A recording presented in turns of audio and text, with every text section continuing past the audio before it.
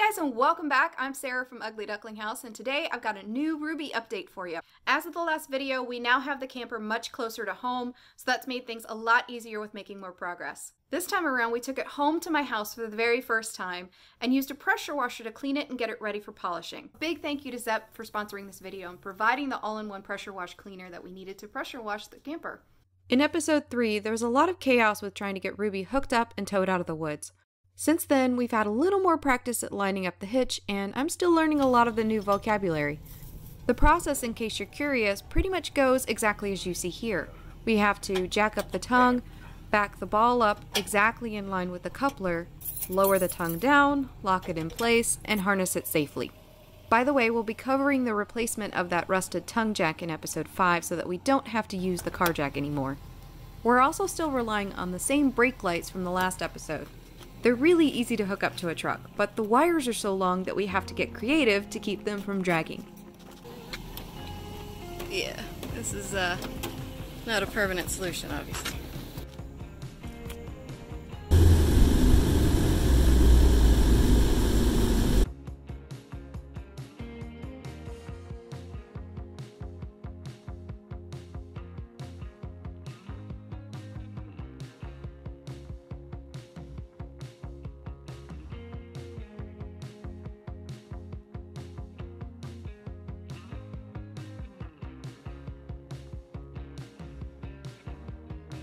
While our previous hand washing was successful and got off more than 30 years of grime, the trailer still has some obvious streaking from the last attempt. We also took a little time to re-inspect the camper now that we aren't under as much of a time constraint and took mental notes of things to fix in the future. In, though, because it looks like there might be screw marks right here. I think that's one. Yeah. For the pressure wash, we used Zep all-in-one pressure washing cleaner and our Stihl RB200 pressure washer and hooked up all the hoses first.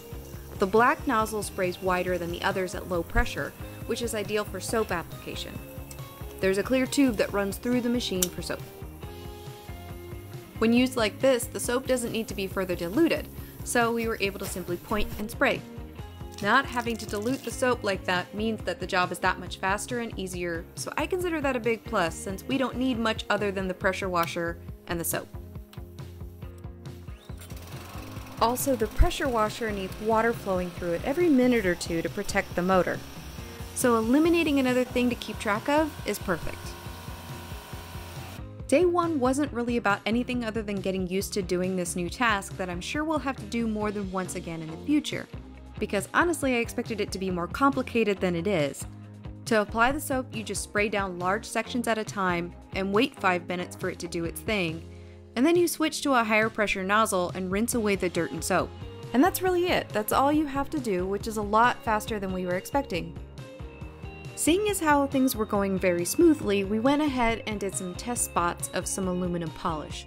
We figured best case scenario that we might get some of the rust spot out, but we were in for another surprise. Just a little bit like that, That's right? good, yeah.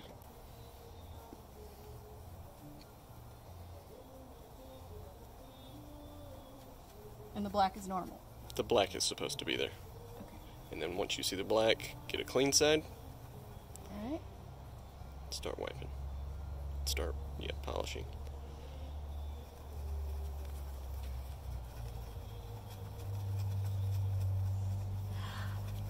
So cool.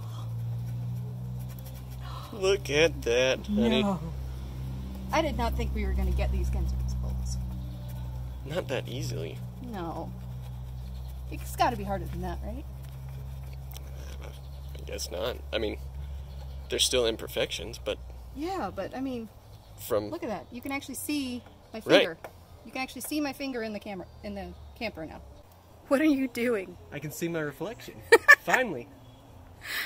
Oh, that's Reflection, No reflection.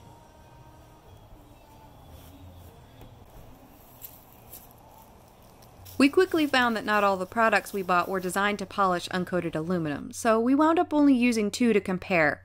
Both worked about the same, and I'll cover this in much greater detail in episode 6.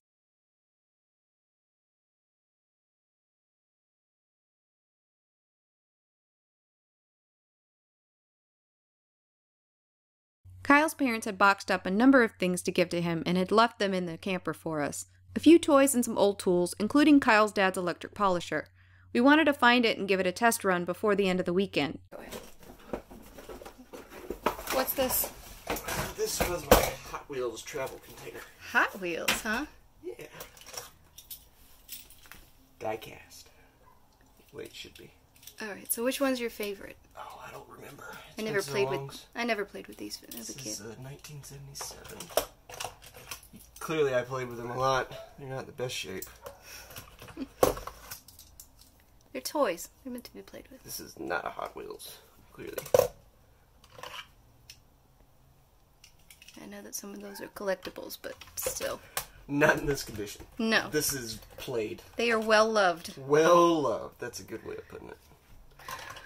Yeah. You're jumping all over the place in the camera view, by the way, babe. Hard to keep up. It has a little track. See? Oh, wait, move that move that down so I can see it. It's got a little track. Cute. Should take it to Pawn Stars. We've been watching a lot of Pawn Stars lately. That's a keep. Guess what we're doing all night tonight? That's that's a keep. So all that's old Black and Decker stuff. Yep. Okay then. That is an old school polisher. Yep. It still works, though. Yes. Yep. That's all that matters to me. Right. Yeah. The next day, we got started again on pressure washing.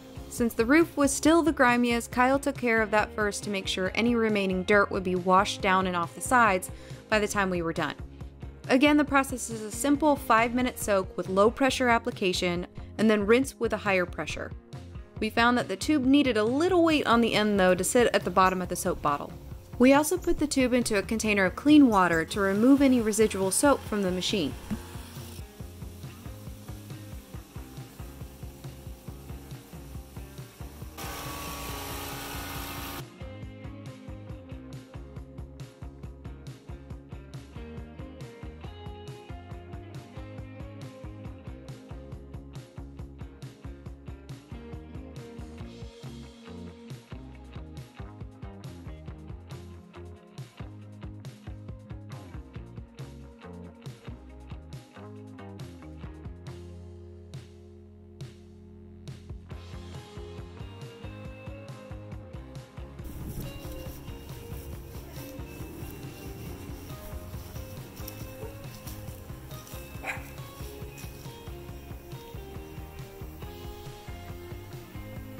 We did try out the old polisher, but the bonnet wasn't really as effective as buffing by hand, and we didn't have any new ones to fit it with.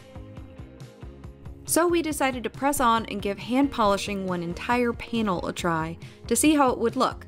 This is a serious arm workout, so we only did this one panel by hand this one time.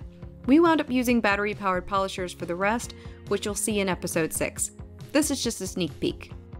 While we still anticipate a more lengthy process down the road to get all the scratches and damage out, we're still very pleased with the results so far. I think that we made the right choice to do a pressure wash before we tried polishing too. It was pretty clear from the roof alone that our hand wash earlier this year was effective, but that extra step meant we knew for sure that our surface was clean and ready. Next up from this, we can then focus on replacing the tongue jack and a dramatic polishing before and after, which I can't wait to share.